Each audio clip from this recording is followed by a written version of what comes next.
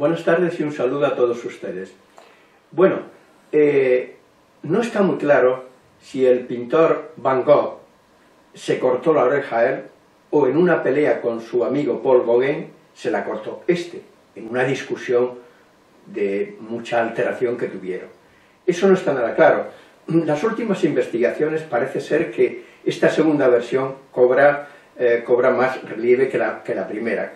No fue tampoco, no es que tenía toda la oreja cortada, sino un trozo de oreja. Bien, pero imaginemos, porque tampoco está nada claro, que fuera él el que se cortase esa oreja. Yo lo asociaría con la personalidad de Van Gogh. Lo que creo que está claro, si uno lee un poco la historia de Van Gogh, es que era un hombre que tenía graves perturbaciones mentales. Era un genio, pero un genio con graves perturbaciones mentales. Eso no ocurre solo en la pintura, ocurre en otras muchas eh, aspectos de la vida, en otras muchas facetas de todo tipo. Hay personas muy brillantes, pero que al mismo tiempo pueden tener algún tipo de enfermedad grave, grave que produce en determinados momentos alteraciones y, problemas eh, realmente muy importantes. Bien, supongamos que fuera así. Supongamos que, eh, que Van Gogh, en un arrebato de locura, en un arrebato de autoagresión, se cortara él un trozo de oreja. No sería nada extraño, no sería nada extraño. Mire, le voy a decir una cosa, hoy mismo una paciente me lo ha dicho.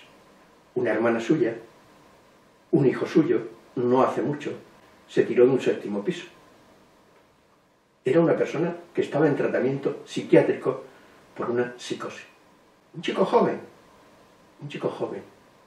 Por tanto, no es nada de extrañar que Van Gogh se cortaron de oreja. Ahora, quiero utilizar esto para hablarle un poquito, un poquito muy brevemente, de un aspecto de la psicosis para que ustedes entiendan qué es lo que pasa en la psicosis. Mire, vamos a ver. Imagínense ustedes que un señor va por la calle y piensa que le atacan. Piensa que la gente con la que se encuentra habla mal de él. Dice que es un tonto, dice que es un bobo, dice que es un idiota, etcétera, etcétera. ¿Qué ocurre?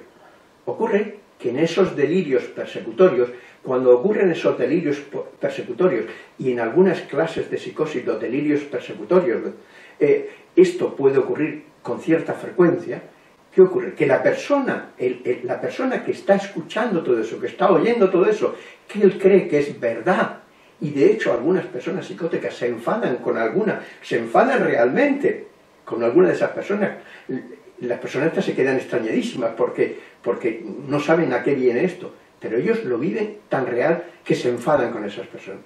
¿Qué pasaría si estas personas, cuando, cuando proyectan en los demás esos ataques, porque al fin y al cabo son proyecciones suyas, e, ellos entonces, como se sienten tan agredidos, se enfadan mucho, sienten mucha rabia por dentro, sienten una ira enorme, se sienten atacados constantemente. Imagínense que esto ocurre en una persona mucho tiempo.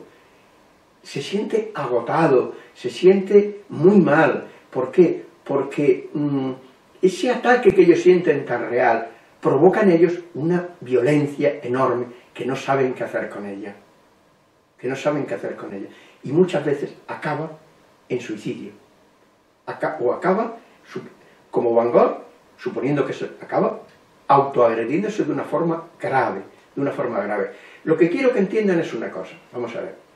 Cuando tratamos a una persona psicótica, un aspecto importantísimo, importantísimo, es qué hacer, cómo trabajar para que esa persona pase desde su relación basada en el delirio a una, a una comprensión de lo que le ocurre en la que él pueda entender que esa rabia, que esos delirios, que esas proyecciones que él siente en los demás, como que los demás le atacan, y la rabia que eso produce en él, eso no es así.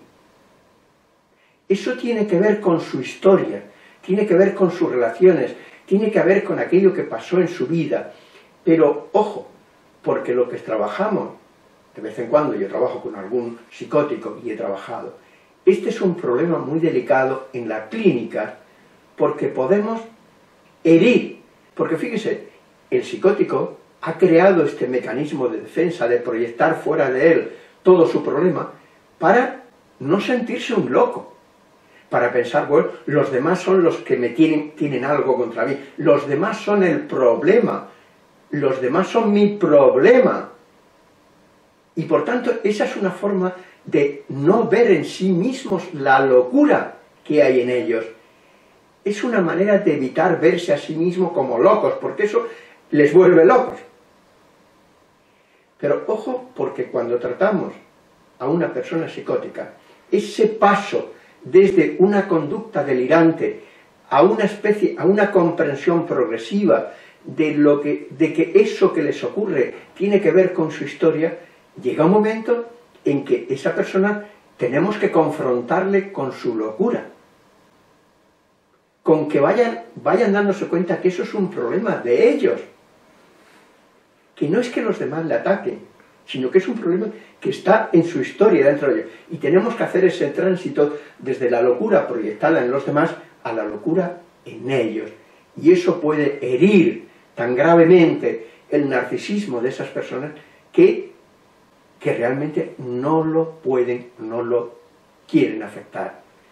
Los terapeutas en este sentido, y me dirijo especialmente a los psicólogos, a los psicoterapeutas, sean psiquiatras, sean psicólogos, para que ese tránsito hay que hacerlo muy bien, con mucho tacto, muy poco a poco, muy lentamente, muy lentamente.